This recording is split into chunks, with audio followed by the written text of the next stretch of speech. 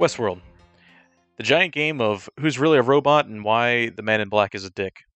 Like many, I have a lot of theories that I want to dig deeper into, but before we can do that, we need to understand everything we can about the park, about the environment, the world itself, Westworld as an entity.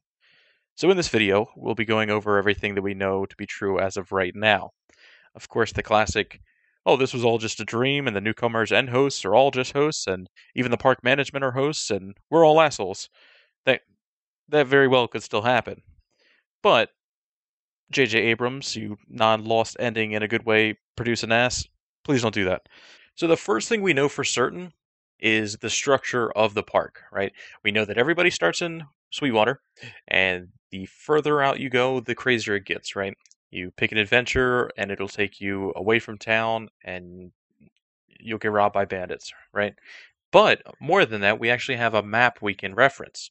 So if you go to discoverwestworld.com, you can actually see uh, the layout of the park. We see that Sweetwater is here. Uh, Python Pass, which was referenced in episode 3, uh, is all the way north up here. Abernathy Ranch, not too far away, the place where they had the shootout in episode 2. And we can also see the desert down here, uh, as well as the sand dunes. Likely, this is around the area that uh, Ford and the little boy had the conversation next to the steeple in the sand. The coolest thing about the map is that after each week's episode, they update it with what's actually in the show. Uh, so be sure to check that out. Moving on to our second point, we can uh, pretty much isolate the limitations of the newcomers, right? So in the show, it states that the newcomers can't die. Well, at first it says they can't get hurt. Thought you said we couldn't get shot. Mm, we can't get killed. It won't be much of a game if they can't shoot back. So looking deeper into this, we can actually find that the guns themselves act as a paintball. And the second that it hits, it either registers as a host or as a newcomer. If it's a if it registers as a newcomer, it will act as a paintball and just bruise you. If you are a host, it will travel through you.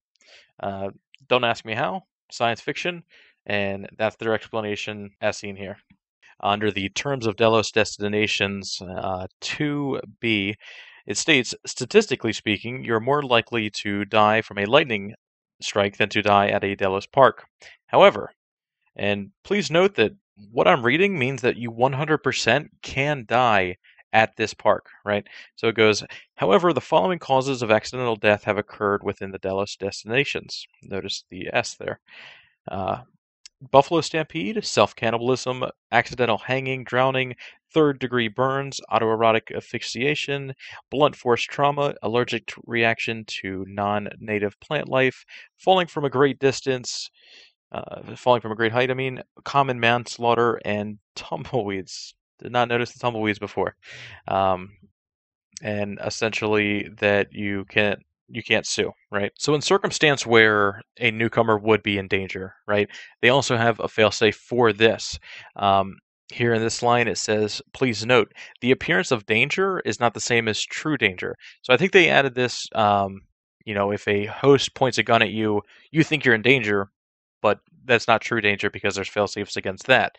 Um, but moving on, it states that all hosts utilize a Good Samaritan trademarked reflex to prevent bodily harm. Uh, so essentially, what I take from this is that if a host computationally thinks that you will die or get hurt, they will move to save you. Right? Um, it says all hosts. So I assume that good, bad, evil, whatever plot line Eventually, it will break the immersion to put your life in front of the story. The only thing stopping the host from hacking us to pieces is one line of your code. The last point I want to make is about the imagery used in the show.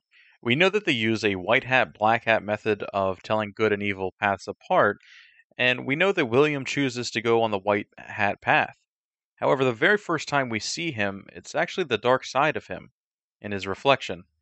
In the same scene, we see a huge yin and yang vibe going on with his buddy who is bad encroaching into the good side. Later in the show, we then see William debating his hat selection and that he looks toward the dark side before he looks to the light. I think this gives us an insight into who William may become and overall represents the temptation that the part offers altogether. Alright guys, that's it for this video. In summary, we now know the layout of the park, the limitations of the newcomers, and the imagery behind pretty much every scene. I really hope you guys enjoyed the video. I put a bunch of work into it, and I can't wait to jump into the crazy fan theories going around the internet currently.